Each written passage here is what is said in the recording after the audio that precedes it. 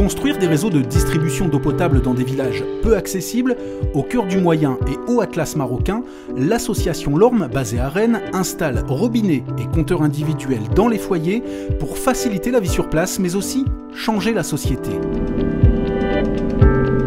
C'est un petit village euh, dans la montagne. À l'époque, il n'y avait que des pistes extrêmement difficiles, traversées par des oueds où l'on cassait les voitures pour y accéder. Et euh, ce village avait perdu sa source. Village de 200 habitants, vivant essentiellement de petite agriculture, très isolé à l'époque. Nous avons travaillé pendant un an pour creuser un puits dans la montagne, très très difficile. Il fallait monter tout le matériel à dos d'âne. Le plus compliqué a été d'établir le réseau de distribution qui permette à chaque maison du foyer, à peu près 60-70 foyers, bénéficier de l'eau, d'avoir l'eau à domicile et d'avoir un robinet avec un compteur. On a la chance d'avoir deux amis, un conseiller technique et un conseiller pédagogique au, Maroc qui suivent les projets de plus près.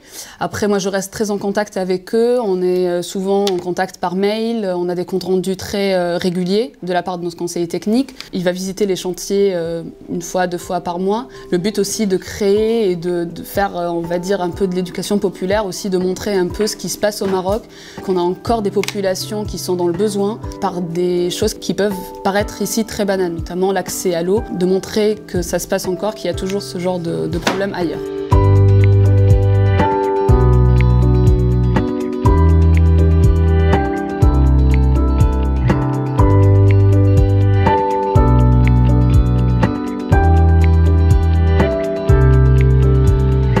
Le problème de l'eau au Maroc est très complexe. Dans les endroits où nous travaillons, dans le Moyen et Haut Atlas, nous avons affaire à deux types de ressources. Des eaux circulantes qui circulent dans la terre, arrivant de la montagne et des fonds des neiges, à 40, 50, 60 mètres de profondeur et qu'il faut aller chercher.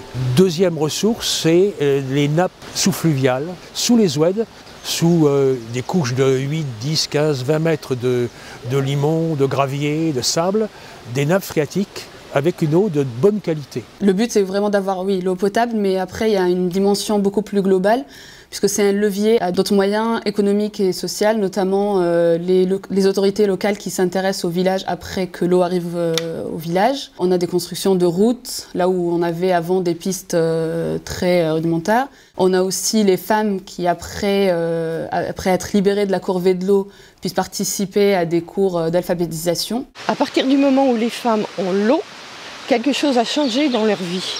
Et elles demandent toutes à ce qu'on les aide pour être plus euh, partie prenante de la vie du village.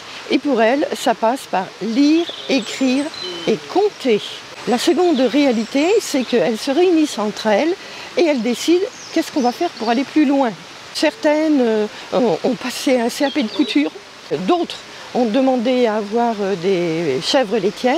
Et à partir du moment où elles gagnent de l'argent, le regard des hommes vis-à-vis d'elles change tout à fait. Du coup, elles envoient les enfants à l'école et là, elles ont compris que ça sert à quelque chose.